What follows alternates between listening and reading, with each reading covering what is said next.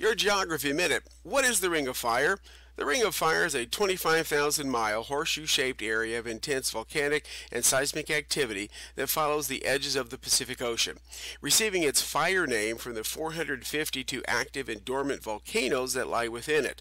The numbers I have found show the Ring of Fire includes 75% of the world's active volcanoes and is also responsible for around 90% of the world's earthquakes. Now, where is this Ring of Fire located?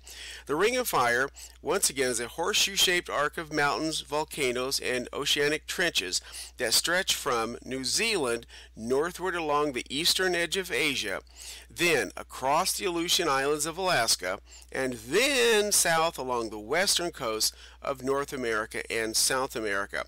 Now, there are several active and dormant volcanoes in Antarctica that we could say close this ring. Well, I hope this helps because that's your Geography Minute.